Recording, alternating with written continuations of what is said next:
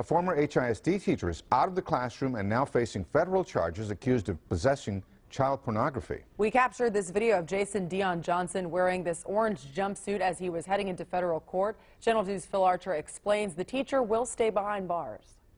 50-year-old Jason Dion Johnson made his living as a teacher, but now he's facing up to three decades in federal prison, charged with possessing and distributing child pornography. He made his first court appearance this morning, where he waived his right to a pretrial detention hearing. So Johnson will remain behind bars for now. I have no comment concerning the facts of the case. We're still, uh, it, this is a very new case. Uh, there has not been an indictment. The case now proceeds to grand jury, and uh, we are in the process of investigating the case ourselves. Johnson taught seventh grade social studies at the Beechnut Academy, an HISD alternative school.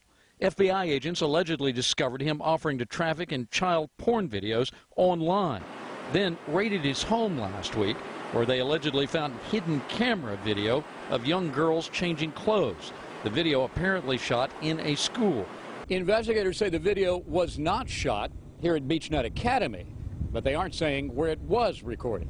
According to the school district, Beechnut Academy is operated by a contractor named Camelot Schools of Texas. Johnson was hired and employed by Camelot. The company sent us a written statement that says in part regarding Johnson that during his tenure under our management, quoting here, he showed no indication of abnormal or inappropriate behavior with students. In Southwest Houston, I'm Phil Archer, KPRC Channel 2 News.